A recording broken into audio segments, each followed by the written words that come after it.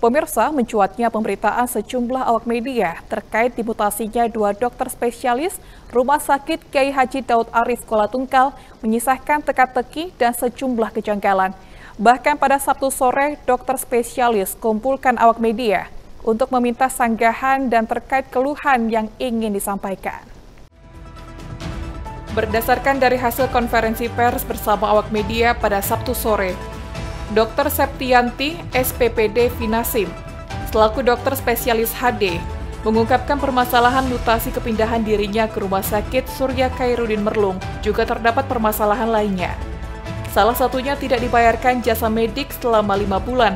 Dugaan tersebut menjadi penyebab dimutasi secara sepihak. Selain itu, menurutnya, dirinya dan suami dipindahkan oleh pihak rumah sakit Daud Arif lantaran kerap menanyakan soal dana jasa medis yang tak kunjung cair. Karena ia sebagai ketua dalam penghitungan jasa medis, tentunya kerap ditanyakan oleh rekan-rekan dokter, perawat, bidan, dan karyawan lainnya di lingkup rumah sakit Daud Arif. Saat ditanya berapa besaran per bulan yang diterima manajemen rumah sakit, Dr. Septi menyebut berkisar 2 miliar rupiah setiap bulannya yang bersumber dari BPJS Kesehatan Bahkan tiap bulannya BPJS Kesehatan rutin membayarkan jasa medik tersebut kepada pihak manajemen rumah sakit. Bahkan ia menyebut selaku ASN tidak mempermasalahkan pemindahan dirinya tersebut, namun ia terkesan terzolimi oleh pimpinan tertinggi di rumah sakit tersebut. Pertanyaan, apakah sudah sesuai aturan? Yeah. Saya bilang tidak sesuai aturan karena kami ASN. Yeah untuk ASN itu apabila memang kami melakukan salah itu ada teguran lisan pertama, teguran lisan kedua, teguran lisan ketiga. Kami tidak bisa berubah teguran tercatat pertama, kedua dan ketiga. Hmm. Memang kami tidak bisa buang silakan. Yeah. Ini kami tidak tahu apa-apa. Tiba-tiba hari Kamis pagi ada yang nelpon, ibu silakan ambil SK-nya di BKD. Hmm. Perasaan saya sudah ada enak, yeah. karena memang Nanti saya akan ceritakan kronologinya. Yeah. Ternyata benar SK yang disuruh ambil itu SK pemindahan saya dan suami. Yeah. Dari Rumah Sakit Laha Daud Arif dipindahkan ke Rumah Sakit Surya Khairuddin, kalau nggak salah perlu. Yeah. Sekarang Juni belum ada satu rupiah pun jasa medik yang kami terima mulai dari Januari.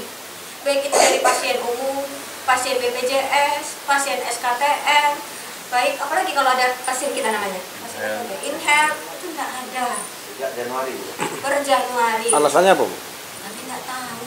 Kami nggak tahu alasannya apa. Tapi yang kami tahu kalau BPJS itu kalau kita sudah pulangkan pasien begitu status lengkap mereka sudah membayar kami maksimal 14 hari.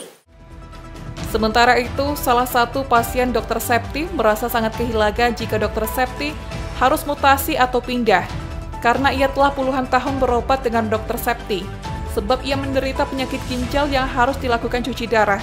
Dengan demikian, jika tidak terdapat lagi dokter spesialis hemodialisa atau cuci darah, maka ia harus merogoh kocek lebih jika harus langsung berobat ke Jambi untuk melakukan kontrol dengan dokter spesialis hemodialisa.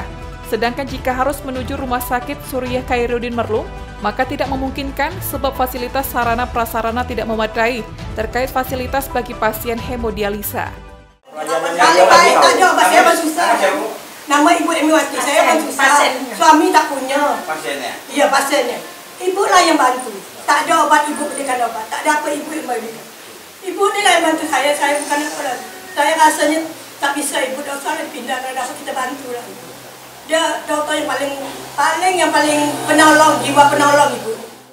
Sementara itu, usai dipanggil Dewan Komisi 2 di Rut Rumah Sakit Kiai Haji Daud Arif Kuala Tungkal Sahala pada Senin sore mengatakan, yang mana dipanggilnya pihak rumah sakit oleh Dewan Komisi 2, semata hanya untuk mengetahui kronologis kejadian yang sebenarnya.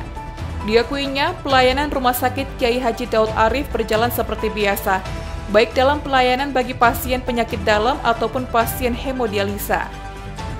Namun pada Senin 3 Juni 2024 kemarin, terdapat lima pasien hemodialisa yang dirujuk ke Jambi karena dokter spesialis belum ada. Sedangkan untuk pelayanan jasa medik yang belum dibayarkan, murni belum dihitung oleh tim jasa penghitung. Dan untuk jasa medik, klaim dari BPJS Kesehatan dibayarkan kepada rumah sakit hingga Februari 2024 dan akan segera dibayarkan setelah selesai dihitung. Sebenarnya beliau kan hanya pindah SK, pindah tugas.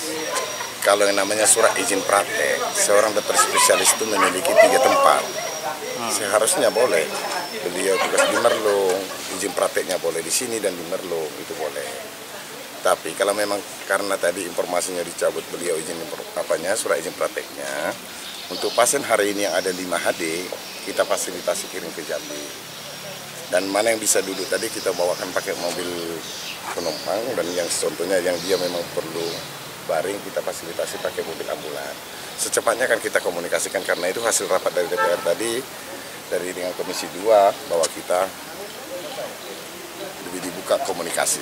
Ya untuk penanganan biayanya gimana dengan, dengan rujukan ke Jambi ini? Yang untuk penanganan biayanya sementara masih ditanggung secara pribadi masih saya. Itu tuh tapi, dok tapi penyakit dalam itu kan untuk menangani pasien yang di penyakit dalam dulu. Kalau yang untuk HD itu kan itu yang saya bilang tadi masih ada sebenarnya izin prakteknya.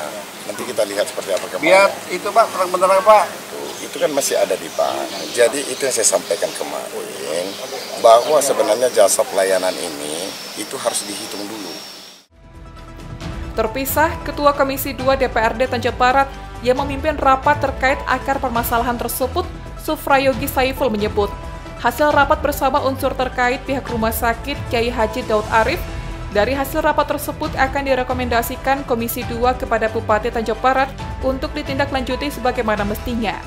Sebab jika dikaji panjang, maka masyarakat sangat membutuhkan dua dokter spesialis yang dimutasi tersebut karena rekam jejak dua dokter yang dimutasi tersebut merupakan dokter spesialis yang berpengalaman di dunia kedokteran. Yaitu pihak uh, dokter septi, dokter spesialis lah khususnya dan juga mendengar langsung dari manajemen rumah sakit.